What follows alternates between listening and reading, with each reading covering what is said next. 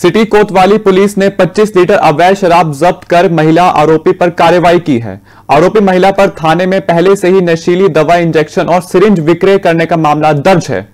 Police ने बताया कि मुखबिर की सूचना पर कोतवाली टीआई अरविंद कुजूर महिला पुलिस के साथ अवैध जहरीली शराब संग्रह करने वाले स्थान पर पहुँचे, जहाँ से नशा का कारोबार करने वाली आरोपी महिला मुन्नी उर्फ़ अफसाना खातून को गिरफ़्तार किया गया।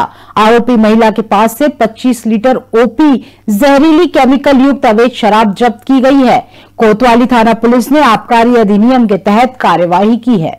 आज एक विश्वसनीय मुखबिर से सूचना प्राप्त हुई थी कि पहाड़िया में रहने वाली मुन्नी अफसाना खातून नाम की महिला है, जो लंबे समय से विभिन्न प्रकार की नशीली दवाइयों, इंजेक्शन और अन्य मादक पदार्थों की विक्रय संग्रहण करती है अवैध रूप से। और आज ये कुछ केमिकल युक्त शराब ओपी लेके जा रही है विक्रय करने के लिए। सूचना की तस्दीक की गई, सूचना सही पाई गई और उसके पोजेशन से लगभग 25 लीटर केमिकल युक्त ओपी बरामद की गई है और आरोपी मुन्नी उर्फ़ अफसाना खातून के विरुद्ध उनचास का आपका अधिनियम के तहत प्रकरण पंजीबद्ध कर विवेचना में लिया गया है।